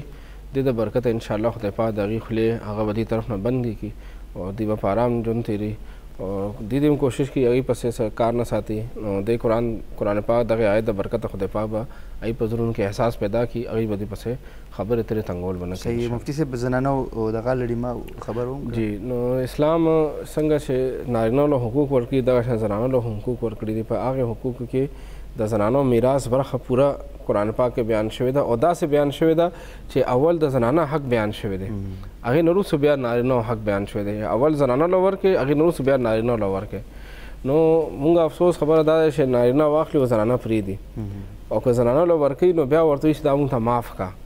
ورور ورته وایي زه درسره غم ښادي پرېږدم ما ته دغه برخه معاف کړه. نو دا ټولې خبرې یاد ساتئ دا د جاهلیت خبرې دي دا د اسلام نه خلاف خبرې دي. هغه کومه برخه چې اسلام وله ورکړې ده دا د دغه نارینه باندې دغه ورور باندې دغه سړي باندې دا لازمه ده چې دا به پوره برخه ورکړي. مفتي صاحب یو کالر دی هغه اخلو په دې باندې به خپله خبره جاري ساتو. السلام علیکم. السلام علیکم شر تاسو ته وعلیکم السلام رور جان موږ سره سوق دي کوم دینه رحمت خبرې کوم تغبینه جی جی څنګه الله خیریت دی جی دعاګانې تاسو مولوی صاحب الله خیر جی مفتی صاحب نه کسته پوس کول غواړي او جی بالکل یو میراث باره کې تاسو کوو جی جی جی چې والد صاحب په میراث کې کور پېښوي او نور کور کې چې ارسوي آمدن خرچ سامان دا مشترکوي د تقسیم په وخت باندی یو ورور صرف د خپور تقسیم منی د نور سامان تقسیم نه منی شریعت او اسلام دی باره کی څه حکم دی. صحیح ده مفتی صاحب تاسو په تپوس باندې پوه شوي دي که تاسو زموږ اواز اورئ تاسو لږ به بیا دوباره هغې ته زموږ چې کوم پروډیوسر صاحب ناست دی هغې ته به لږ خپل افیر خپل تپوس د هغې نه وکړئ نو هغه به موږ ته وایي اصل کې د میراث موږ مفتی صاحب بار بار دا خبره هم کړې ده چې دا ځنې تپوسونه سي چې هغه به هغه حالات کتل وي په خپله او چې د هغې پوره جایزه نه شي اخیستلی نو دغه شان نیمګړی یو خبره کول هغه چې کوم دی نو مناسب نه دي مفتي صاحب تاسو خبره کوله چې اول د خور حق ذکر دی چې د دوه خویندو حق چې کوم دی د یو ورور برابر دی جی بالکل قرآن پاک کې الله جل شانه د لور حق اول ذکر کړی دی د خور حق اول ذکر کړی رور او د زوی هغه حق روسو ذکر کړی دی جی جی نو اول حق شه دی هغه لور لور کول پکا دی زوی لور خور لور کول پکا دی هغه نه روسو بیا د زوی لور لور لور کول پکا دی خو افسوس خبر دا زموږ په معاشره کې ما یو علاقه کې په دې موضوع باندې خبرې وکړې تقریر وکړو چې میراث کې د دغه کس دومره برخه د زنانو د دغه زنانو دومره برخه دا ورکوي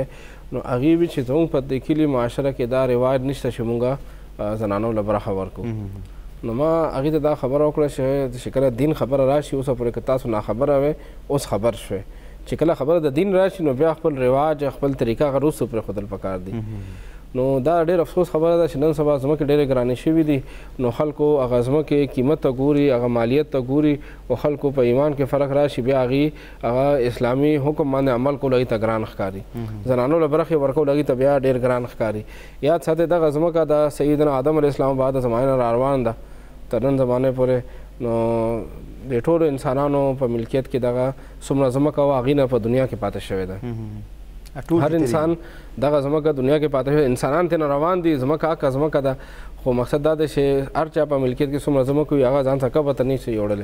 دنیا کې درنه پاتې کیږي چې دنیا کې پاتې کیږي نو بیا دغه دنیا د زمکه د پاره خپل تعلقات خپلولي اور د خپل چې دغه دين او ايمان هغه ني خرابول پکار. صحيح مفتي صاحب حق مهر چې کوم دی هغه هم بعضي خلک وي چې هغه د معاف کولو کوششونه کوي په دې باندې به هم خبره کوو خو موږ سره يو کالر دی جی السلام عليکم. وعليکم السلام. موږ سره څوک دي جی د کوم ځای نه. ګل آغا د کوټې. جی جی څه به ويل غواړئ. او مولوي صاحب څه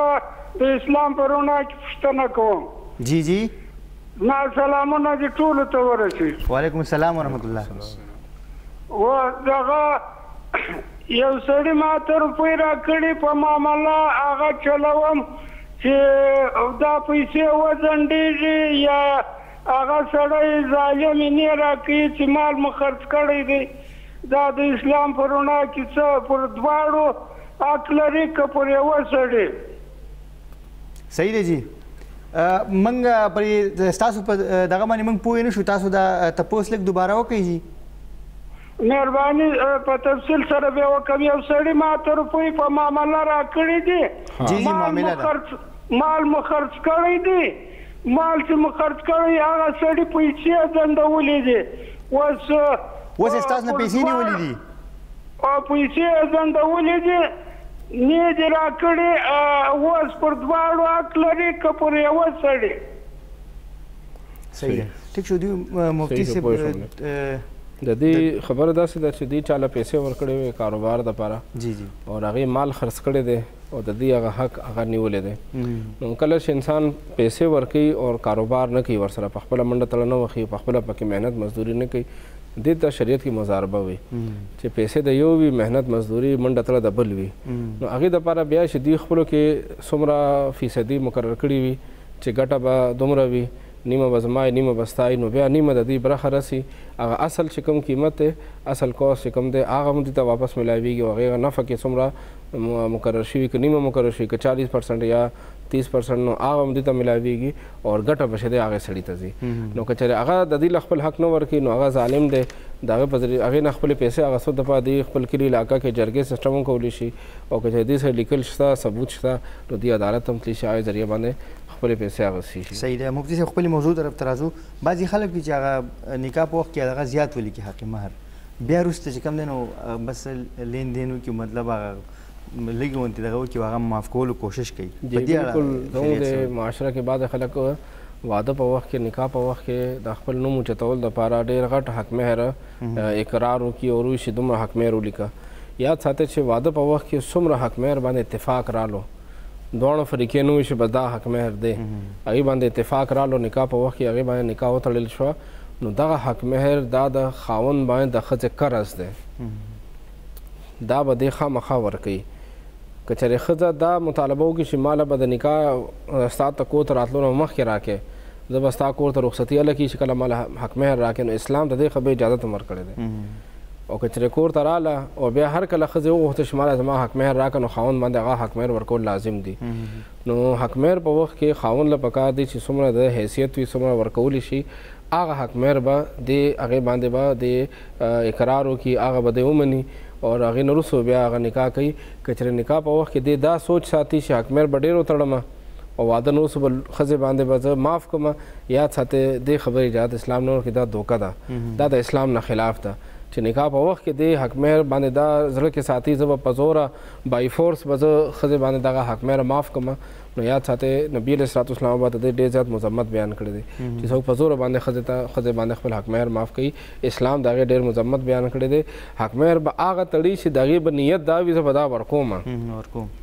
او که خدای دې نه کړي یو خاوند د نکاح نه وروسته هغه حقمهر تړلی و، نکاح وشوه، هغې نه وروسته وفات شو، یاد ساتئ چې د هغه ښځې دا حقمهر به دا د خاوند د مال نه بطور قرض به ښځې له ورکول شي. څنګه چې نور د چا قرضدار دی نو میراث وروسته تقسیمېږي، اول چې دی هغه قرضونه ادا کېږي، نو دغه شانته د ښځې له به حق مهر اول ورکول کیږي میراث وروسته بیا تقسیمیږي وارثان ته وروسته برخه ملاویږي اول به د ښځې ته دغه حق مهر ورکول شي دا حق مهر دومره اهم چیز دی چې کچره ښځه وفات شو یا خاوند وفات شو حق مهر نه دی ورکړی شوی نو ښځې له پس د وفات نه به هم هغه حق مهر دغه وارثان ته ورکول شي که مور پلار ژوندي دي ورور ژوندی دی چې کوم شرعي وارثان دي خاوند چې د ښځې له حق مهر نه دی ورکړی په ژوند کې ښځه وفات شوه نو وفات نه وروسته به دغه خاوند نه دغه حق مهر اخیستل شي او دا به د ښځې یو میراث ګڼل شي او میراث په شان ته به دا تقسیمیږي او په خپل تبه خو معاف کولی شي مفتي صاحب کنه بالکل خپل خوښې باندې لکه زموږ ډېرې زنانه هغه داسې وي چې خاوند سره د یو ښېګړې کولو دپاره مینې محبت اظهار دپاره خپل خوخه باندې معاف کوي نو خپل خوخه باندې انسان معاف کول شي خو بای فورس دغه په زور باندې زبردستی بانو دانو ما معاف کول نه دي صحیح ده مفتی صاحب نور د تپوسونه هم دي هم سره کالر دي السلام علیکم السلام علیکم وعلیکم السلام جی روزانه موږ سره سوق دی او د کم زینه دعا سلام او مفتی صاحب دعا سلام وعلیکم السلام ورحمت الله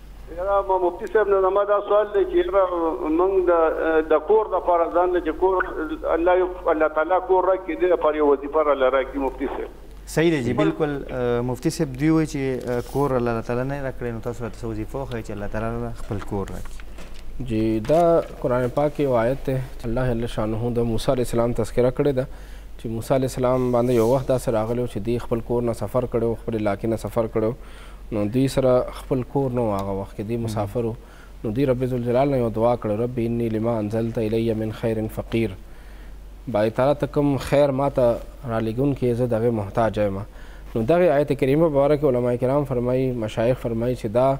مون هر یو مانځه نه وروسته که ګیاره پرې انسان ویلی شي ډېر وړوکی اونته کې آیت دی رب انی لما انزلت الی من خیر فقیر نو دغه آیت چې کله انسان ګیاره پرې مانځه نه وروسته وي او دعا کوي نو دې د برکت الله جل شانو درې شیزونه ورکي چې موسی علی السلام دغه دعا وکړله نو الله جل شانو دوی له بیبي مرکړله د شعیب علی السلام لور سره دی نکاح وشوه دویم دا چې د کور ملو شو دریم دا چې د روزګار او کاروبار هم ملو شو نو کم سړی بے روزګار وي کم سړی خپل کور نه یا کم سړی رشتہ واده نه نو هغه د پاره دغه وظیفه ډیر مجربه ده هر مانده پسې ویلی شي نو 11 پیری وي او هر مانده پسې ټایم چا سره نه ورځ کې درې ټایم سار غرمه مخام درې ټیمه وي صحیح ده مفتی زموږ سره د می ټیم دی او موږ به د مفتی کاشف رضا صاحب شکریا هم ادا کو د می نه پس به موږ سره بل نعت خوان هم ګران کوتون کو پروګرام کې وړه شانتي د مخلو او پس راځو سره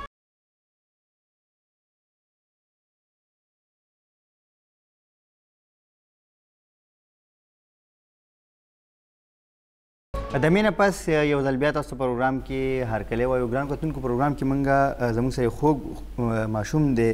حسین احمد ناتخوان دی هغه هم مونږ جاین کړی تاسو پروګرام کې هرکلی وایو د دوی نه به ګران کتونکو نات اورو خو زو مفتی صاحب طرف ته مفتی صاحب زمونږ نه یو خور کال کړی واغې ته پوس کوو چې جاینټ فیملیز کې اکثر هم داسې کیږي چې مطلب هغه رونه چې کم دي نو خپل دغه تقسیم کی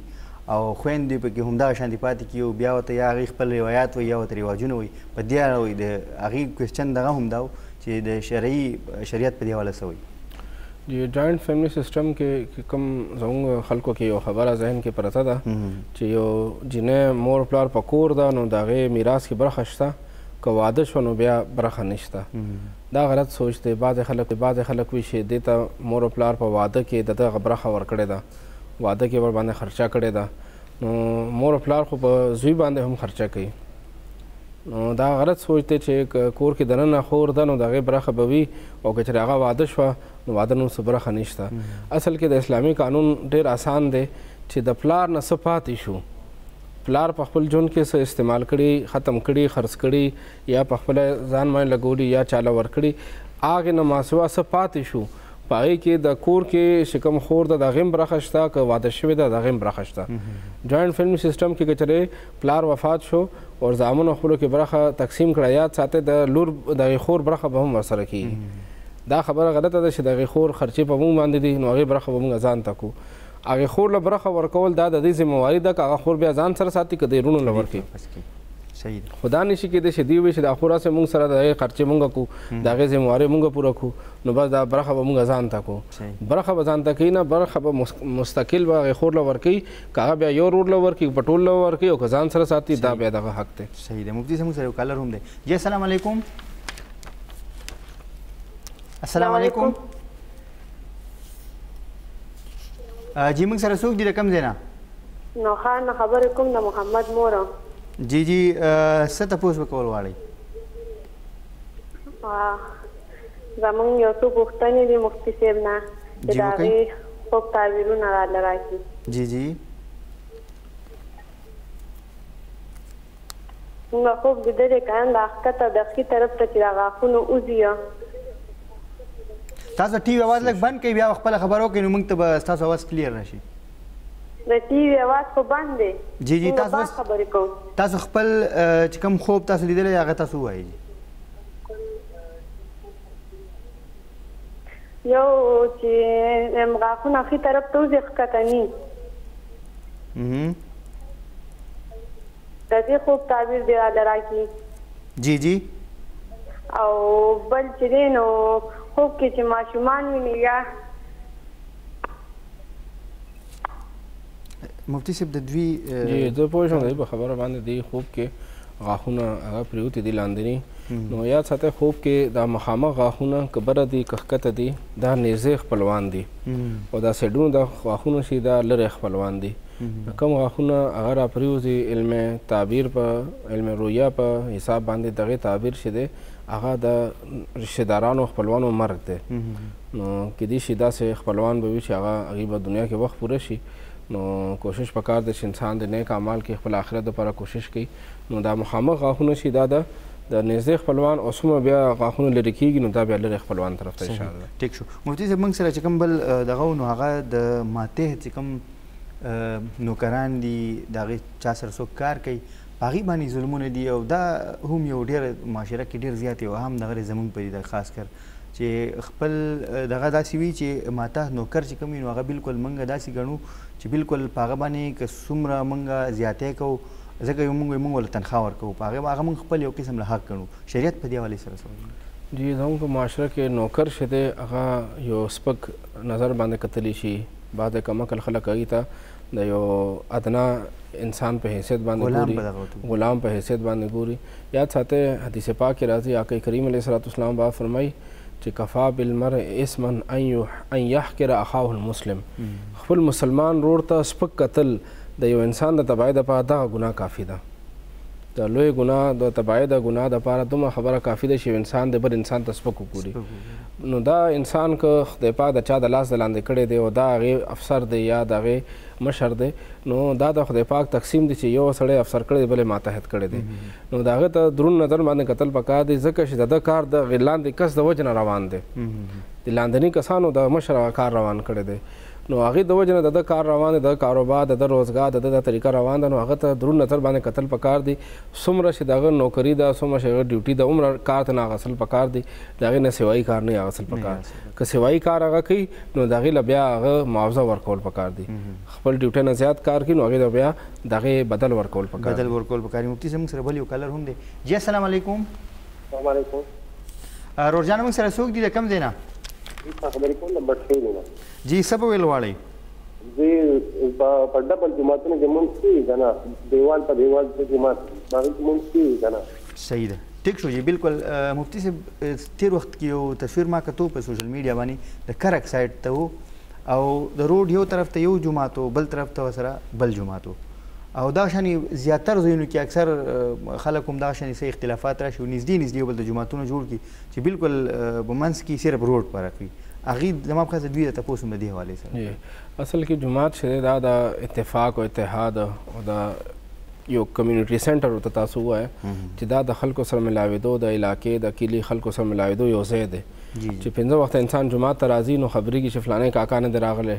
معلومات یو کې دوه منځونه وشو نه دی راغلی کېدی شي بیمار دی نو خلک بیا لاړ شي د هغې تپوس وکړي نو دا جومات یو کمیونټي سنټر دی دا د اتفاق ځای دی نو دې کې بیا بې اتفاقي نه ده پکار چې انسان دلته کې بې اتفاقي جوړه کړي او بیا ورسره نږدې بل جومات جوړ کړي دغه شان ته چې هغې ضرورت نه وي مفتیان بیا هغه ځای ته ګوري بعض اوقات داسې روډ وي چې هغه ډېر مصروف روډ وي کمزوری ماشومان هغه روډ نه پورې نشي تللی نو روډ نه یو خوا یو محله وی روډ نه پوری بل محله وی هغه خلک دی خوا نشی راتلی او زموږ دا بی آر ټی چی روډ جوړ شوی دی دی د وجه نه دا غټه مسله جوړ شوی ده چی خلک نږدی هر ځای نه اوړی دی روړی دی نشی خپل مخصوص ځای نه به اخوا اوړی نو که بعضی علاقو کی دغه شان تکلیف وی نو بیا یو بل ته مخامخ روډ نه یو خوا بل خوا جومات جوړ شی نو خیر دی خو هغه انسان لوکیشن ته ګوری حالات ته ګوری هغی مطابق بیا جواب ورکوی نو دیوار په دیوار خو بلکل ما په نس باندی د هغی څه ضرورت نه راځی نو داسې خو بالکل نه ده پکار چې انسان دیوار په دیوار جماعت جوړ کی جماعت چې د اتفاق ځای دی د مینې محبت ځای دی اتفاق پکې راوصل اتفاق راوصل پکار موږ سره بل کالروم دی السلام علیکم السلام علیکم السلام علیکم وعلیکم السلام رور جان موږ سره سوق دی رقم زینا زه اشمت خبرې کوم لون خور نه جی سبا ویل غواړی یاره مفتی صاحب مې تاسو کومه دلته مونږ لکه کور کې کور ما جوړ کړی دی او دې کې مونږ لاندې ګټر جوړ کړی دی کنه جی جی جی او هغه لاندې تقریبا شپږ فوټه لاندې دی بیا مې کنکریټ کړی دی دا دغه مې پیخي دا بلاکونه مې پیخي دغه مې بیا مې د پاسه کنکریټ کړی ما دا ته معلومات کو چې یاره دې د پاسه مونږ کیږي کنه څنګه تاسو لږ دوباره خپل تاسو وګئ ما کور کې ګټر جوړ کړی دی د باتروم ګټر دی کنه جی جی نو هغه د پاسه ما په دغه کړی دی هغه سر ما په خې تیار چتونه سر ما په خې بیا ما په د پاسه پټ پټ دغه کنکریټ کړی دی باجرما بیا چولی دی خو لکه ډیر لاندې دی نو ما وی چې دی باندې موز کیږي کنه خو اوس په دغه بیٹک جوړ شوی دی ټیک شو جی ټیک شو تاسو تاسو جی مفتی صاحب جی دې شکم سچويشن بیان کړو دا ګټر هغه ګندګي ډیر لاندې ده او دی باندې دی شکل ګندګي او منسکون کې دومره فرق وي چې هغه ګندګي د منسکون کې جامه ته لباس ته نه را رسي نو الته کې منسکول ټیک وي نو دلته کې هډې زیات فاصله ده ډېر زیات کنکریټ هم کړی دی ډکن هم پروت دی سرم په پروت دی نو دغه شانته مونږ دغه شانته ځکتی ها داسې کیدی شي بعض اوقات ګټر وي هغې نه بوی راځي ګندګي خو ترې نه راوځي ګندګي خو کپړې ته لباس ته نه لګي خو بوی د وجه نه هغه انسان هغه توجه نه برابري نو دغه شان ځای کې مونږ نه دی پکار او چې کوم ځای کې ګټر بالکل بند دی بوی نشته ګندګي ښکته ده نو دغه شان ځای کې مونږ صحیح مفتی صاحب مونږ سره نعت خان حسین احمد هم ناس دی او نور سوالونه هم دي خو د می ټیم دی ګران کتونکو پروګرام کې وړه شانتي د ماخلو واپس راځو مونږ سره اوسه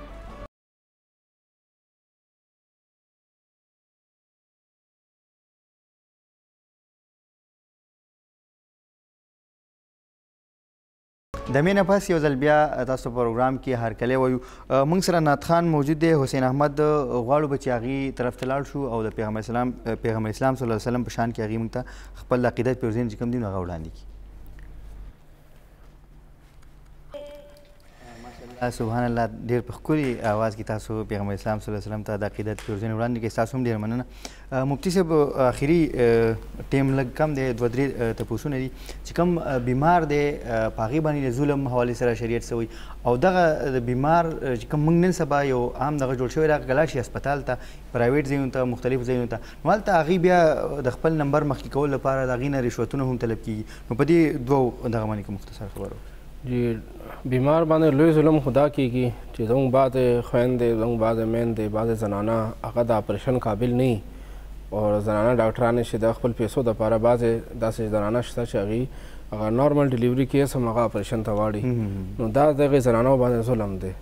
ځکه چې هغوی ته تکلیف رسیږي د هغوی پیسې پکې ډېر لګي او راتلونکي ډېر وخت پورې هغوی زنانو ته تکلیف یا اپریشن هغه نو دا د زنانو باندې په دغه بیمار باندې ظلم دی دغه ظلم ځان ساتل پکار دی دویم دا چې کم ټیسټونو کم دوايانو هغه ته ضرورت نشته بعض ډاکټران هغه ټیسټونه ولیکي چې هغه کې صرف هغه ته خپل پرسنټیج ملاويږي یا هغه ته هغه چې کم یو ټارګټ ورکړي دی دوايانو هغه هغه صرف هغه ټارګټ پوره کول د لپاره هغه دوايانو وسره اسی ولیکي نو دا هم په دغه بیمار باندې ظلم دی چې دغه دوايانو هغه ته ضرورت نشته هغه ته حاجت نشته او دغه باندې بوج واچول شي او هغې نه دغه پیسې اخیستل کیږي دا هم ظلم دی او بیا که چېرې دغه شانته انسان نمبر روسي دی رشوت ورکوي او بیا ځان مخکې کوي نو دا دې نه مخکې کوم خلک دی په هغه خلکو باندې ظلم دی صحیح ده مفتی صاحب بیا ونې کټ کول چې کوم دي نو هغه هم د ظلم یو دغه کې راتلی شي بیا د هغې له وجې چې نن سبا څومره کلایمیټ چینج د غټه دغه چې کوم ده مسله موږ تر پېښه ده د ونو کټ کولو دې حوالې سره شریعت څه وایي یو ونه خدای چې انسان خپل ملکیت خپل هغه فصل کرلی وي هغه بوټي کرلی هغه خرڅي نو هغه خو دغه خپل جایداد د خپل ضرورت د پاره هغه خرڅول شي یو دا چې جنگلات دي ګورنمنت دي سرکاري دي یا د خلکو د کلی علاقې مشترکه هغه ونه بوټي دي هغه بلا اجازه کټ کول هغه اجازه اسلام نه ورکي او کچره سو کټ کوي نو هغه د پاره ګورنمنت بیا پالیسی خري چاهي سو نور بوټي بلته وکړي نو داغه د پاره شکم طریقې کار دي هغه طریقې کار نه خلاف بوټي کټ کول هغه هم ظلم دي ورسره چې ځکه چې دې بوټو کې دنه ځناور پاتې کېږي مارغان وي پکې دا په هغوی باندې هم ظلم دی او ورسره ورسره دوم ډېر خلک دې نه ناخبره دي چې په دې بوټو کې پیریان هم پاتې کېږي نو دغه پیریان چې کله هغوی بوټي کټ کړي شي د هغوی بعض اوقات هغوی د ورځې زموږ بوټي کټ کول کېږي د ورځې هغوی ودی د شپې هغوی ګرځي د ورځې هغوی ودی نو د ورځې هغوی بوټي کټ کړي شي هغوی سره هغوی راپرېوځي زخمیان شي نو هغوی بیا خپل بدل اخلي نو دغه بوټي کټ کولو بلا اجازه تو ځنګلو کې او چې کوم د حکومتي ځمکه ده یا د عوامو ځمکه ده چا ذاتي ملکیت نه دی نو دغه بوټي کټ کولو دا په هغه علاقې خلکو باندې هم ظلم دی ځکه چې هغې نه اکسیجن ورته میلاویږي هغې نه ماحول د هغې ښایسته دی او ورسره په مرغانو باندې هم ظلم دی چې کوم مرغان په هغې کې پاتې کیږي هغه پیریانو باندې هم ظلم دی چې کم پیریان پای کې پاتې کیږي نو دغه یو ونه کټکول د وجه نه دومره ډیر خلکو باندې ظلم راځي مفتی صاحب بیا کوم ګورو بارانونه هم دغه ونو د وجه نه بیا کم شي او که بیا کیږي هم هغه دومره زیات شي په معنی چې هغه نه سیلابونه جوړ شي او هغه نه بیا موږ ډیر زیات نقصان راځي بالکل دا ټول دغه سره تړل شوی دي نو دغه یو ونه کټکول صرف یو ونه کټکول نه دی لکه خلک چې دغه په پټه باندې ناجایزه باندې هغه جنگل کټای کوي هغه په پټه باندې دغه کار کوي نو دا صرف یو ونه کټ کول نه دي دا وسره وسره دومره ډیر مخلوقاتو باندې ظلم کول هم دي. صحیح مفتی صاحب اخیری تپوس به زما دا وي چې کوم مظلوم دی په هغې باندې د ظلم سزا څه ده او چې کوم مظلوم دی د هغې د مدد کولو جزا څه ده دې باندې که تاسو خبره وکړئ. جی قرآن پاک کې الله جل شانه ظالمانو په باره کې فرمایي چې زه په ظالمانو باندې نور ظالمان مسلط کوم نو ظالم دې دا نه وي چې زه ظلم کوم نو بس کم شي مانه ماته دې ښکته لاس کسان دي ښکته کسان دي په هغوی باندې زه بره یم نو زه به په دوی باندې ظلم وکړم نو زما تپوس والا څوک نشته الله جل شانه قرآن پاک کې فرمایي چې ای ظالمه ته چې په بل باندې ظلم کې تا باندې وځه بل ظالم مسلط کوم تا نه لوی ظالم براشي هغه تا باندې ظلم کوي نو د ظلم لوی لوی تاوان او نقصان دا دی چې دغه ظالم به هم یو په بل ظالم باندې به پیخیږي او زموږ مشرانو ډېر ښایسته متل کړی دی چې بد مې غواړې په بدو به واوړې نو دا کوم سړی چې بل پسې بل بد پسې ګرځي نو دغه سړی په خپل هم خوشاله کېدی نشي دی به په خپله هم په بل بد باندې به اوړي هغه په دې باندې به زوروري هغه په دې باندې بیا ظلم کی هغه سزا به ورکي او څوک خوش نصیب وي چې په معاشره کې په کلی کې علاقه کې هغه د مظلوم سره مدد کوي نو یاد ساتي موږ له اسلام دې خبرې سبق راکوي چې مظلوم سره مدد کوه اگر چې هغه ستا د قوم نه دی اگر ستا د قبیلې نه دی اگر ستا د ملک نه دی نو اسلام موږ ته د حق پرسته تعلیم او سبق راکوي قوم پرسته سبق نه راکوي چې د خپل قوم سړی دی په ناروا دی زه ورسره ودرېږم ځکه زما قوم سړی دی نو دا د بل قبیلې بل قوم سړی دی او دا د په حق د زغې سنو درېږم ځکه زما قوم قبیلې نه دی بلکې اسلام دې خبرې سبق راکې چې مظلوم مدد وکا هغه د هر ځای وي هغه انسان د هر ځای د مسلمان دی که غیر مسلمان دی که قوم دی که قبیله دی که خاندان دی که بهر دی پردی دی هر سړی چې مظلوم دی بس هغه سره مدد وکا او دغه فائدہ دا ده چې الله جل شانه به تاسو سره مدد کوي نبی علیہ الصلوۃ والسلام با فرمای چې کوم انسان د خپل رور مدد کوي خدای پاک دغه سره مدد کوي صحیح ده ټیک شه مفتی صاحب اخیری مختصر خبره په دې باندې لګو کې د مونږ چې تاسو مخ کې هم فرمایل چې کوم زنانه ول مونږ حق نه ورکو دا غي په وړ کې زموږ پر خلکو کې همدا دغه چې بس دا خو اړو دومره ضروری غنی نه د قران احکامات دي مختصر کپ دې باندې پیغام خلکو تور کوو مختصر پیغام دا دی چې د مونږ فرض دی روزه فرض ده حج فرض ده زکات فرض ده دغه شان زنانو له برخه ورکول هم فرض دي. کوم سړی برخه ونیسي د زنانو د هغې په ځمکه باندې قبضه وکړي، د یتیم په ځمکه باندې قبضه وکړي، د کونډې په ځمکه باندې قبضه وکړي، د هغې په حق باندې قبضه وکړي، دغه مونځونه، روژې، زکات یې نه شي خلاصولی چې کومې پورې دغه حق یې وله نۀ ورکړي. د انسان به حقوق العباد به هم پوره کړي، حقوق الله به هم پوره کړي، هله به خلاصېږي. صحیح بلکل ډېره مننه مفتي صاحب تاسو ډېر په ښکلي موضوع باندې تاسو په مختلف موضوعاتو باندې تاسو ډېر ښکلي خبرې وکړې ستاسو هم ډېره مننه چې تاسو راغلئ مونږ سره مو خپل نعت شریکو ګرانو کتونکو همدا و زمونږ د نن د پروګرام مفتی صاحب ډیر په تفصیل سره په هغه دغه باندې خبرې وکړي چې کوم د ظلم دی په هغه کې په شریعت حواله سره ظلم چې کوم دی نو هغه داغي څه سزا ده دغه شانې که څوک ښه کار کوي نو داغي څه دغه ده په هغه کې مختصر که خبره وکړو نو هغه دا ده چې د بل حق چې کوم دی تر څو پورې چې د بل یو حق د الله تعالی دی یو د بندګانو دی تر څو پورې چې د بندیګانو حق چا نه ورکړی نو الله تعالی خپل حق چې کم دی هغه معاف کولی شي د انسان یو ښېګړه وکړي د بل انسان سره خو دغه د بل انسان حق چې کم دی نو الله تعالی هغه چاته نه بخي نو هر چاله دا کوشش پکار دی چې هغه د حقوق العباد ډیر زیات خیال وساتي همدې سره د پروګرام ټیم سر ته رسي اجازه غواړو الله پامان